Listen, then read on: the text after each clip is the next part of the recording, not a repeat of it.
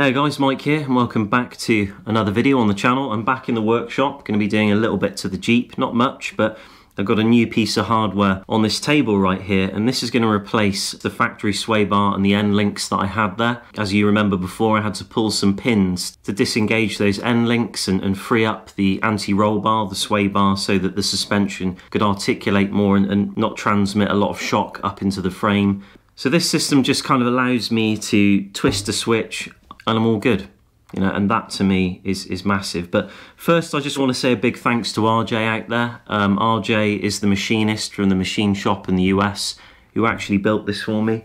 Um, he did it for me just for the price of materials and shipping, which is super generous of him, and, he, and he's obviously keen for me to try this out. If you're interested in this product, you can check his Instagram. He's got lots of photos of it. He's developing it at the moment, and he's going to be selling and building these in the USA definitely have a look at his pics. You can see him flexing this thing out and it, seems to flex very well on his setup anyway. So I'm going to get this on the vehicle now and then I'm going to take it out and test it and climb over some big rocks, see what it does. First things first, going to put on the hardware, just get these bushings in position. You can kind of see where I've mounted this forward of that. Sweet weld, right? Might have to hide that later, but uh, it is very strong, welded around both sides. There is an existing bolt hole there, by the way, so you can put at least one bolt straight through all the layers of the frame. I think you've got two layers here spot welded together, so I was a bit dubious about just welding this to the first layer.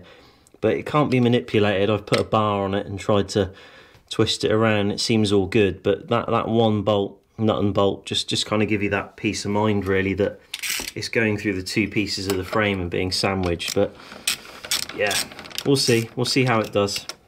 He's given me a little satchel of this squidgy lube. I'm going to put some of that in there. Guess this is to quieten down the bushings. Oh, so now what I think I'm going to do is damage the ceiling. Put a bit of grease around here.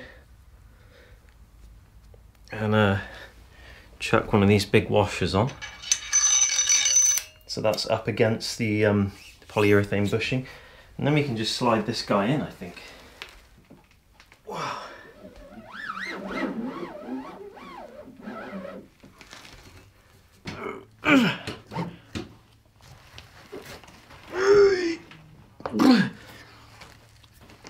Wow, I think you're good. He's given me some plastic spacers that I can cut myself. I mean, you got to think I got a frame stiffener and a bumper bracket. So you mean it's 12 mil of thickness, maybe 13. Pretty damn thick. So obviously this is all sticking out a lot further than on a stock vehicle. So I need to try and pull this out basically and kind of measure that up. So I want it about there. So what are we looking at? Oh, it's in inches. Sorry, I can't do inches so good sometimes. 17, 17 millimeter.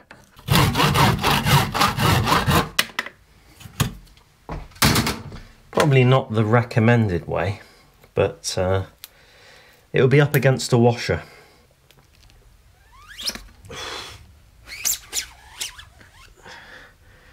And another washer because we'll see how that goes with two washers. Kind of like these washers, you know.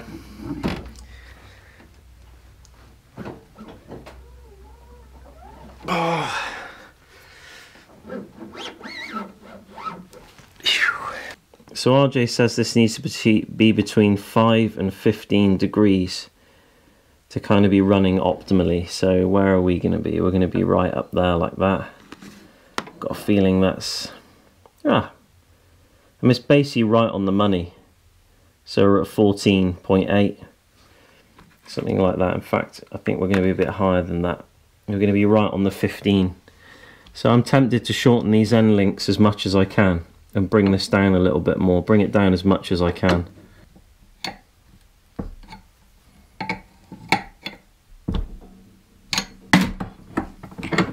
That's kind of where we want to be, between 5 and 15, so that looks good. That's as short as those end links can be. Um, it's just whether or not this can go up too high and hit that, which, which uh, it must it must do, it must do. So I think what I'm going to have to do is take the grinder and take away maybe as much of that as I can, maybe just that corner So I triangulate that bracket off and, and round it off a bit, make it a bit, bit better, see what happens there.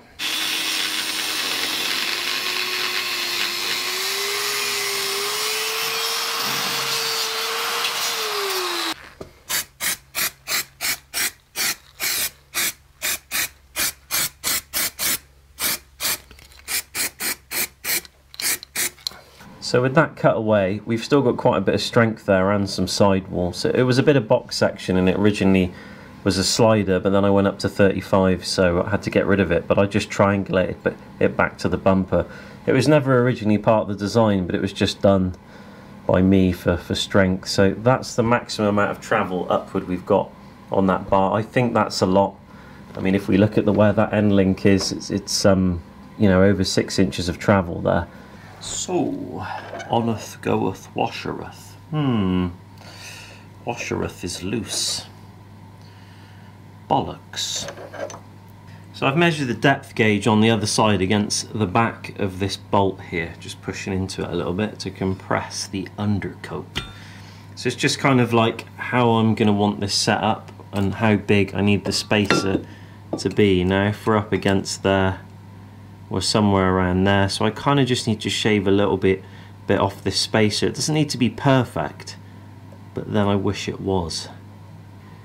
So the install seems to be going pretty good. RJ's probably watching and he's like what the fuck is this guy doing with my product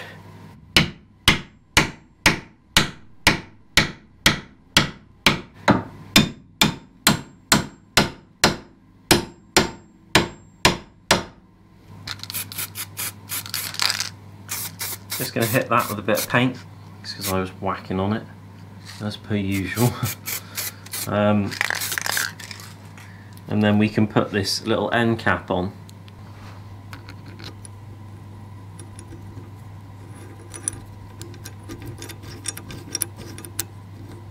So the kit's basically installed, really, really easy. Now in my case, you can see that I'm still using the old setup for the quick disconnects, but that's because I only have one uh, Imperial bolt.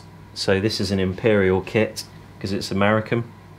Um, obviously being in Europe, that's you know not, not something you come across every day, but we do have them at work. So I need to go pick up another Imperial bolt like that and then I can get these links bolted to the axle permanently because I never intend to disconnect that again. So um, RJ, thanks again mate. I'm going to get out and test this right now. So I've just been doing some highway driving around 90 kilometers per hour uh, just really seeing how this thing feels. For me it's more important how it feels when it's connected than when it's disconnected in a way because uh, if it's not functioning really well when it's connected and it feels weird then it's just not something that I can use really because I do quite a lot of miles uh, on the asphalt. But we're making our way up a dirt track now. It's just like a, forest road and it's quite a well used one so it's, it's a decent road hitting a few potholes and stuff on the way kind of deliberately just to see how it feels. And it's still connected because on a road like this I would leave my sway bar connected obviously because it's still a flat road. I'm still doing around uh, 30 miles per hour 35 miles per hour. So you know there's no reason to disconnect the sway bar. But we're going to find a big rock disconnect it see what it's like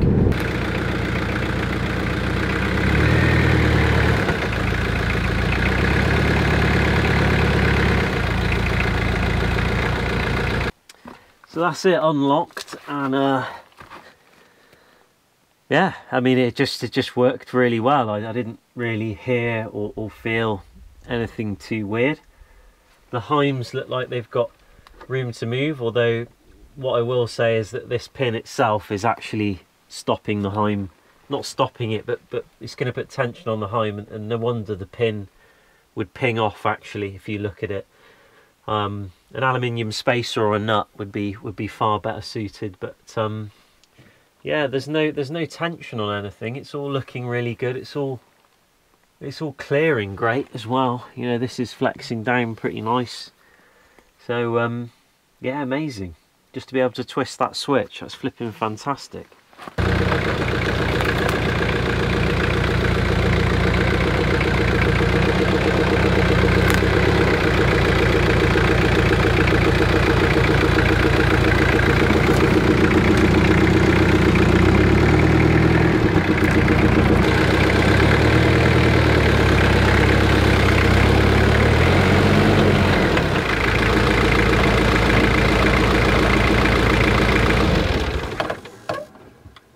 The conclusion.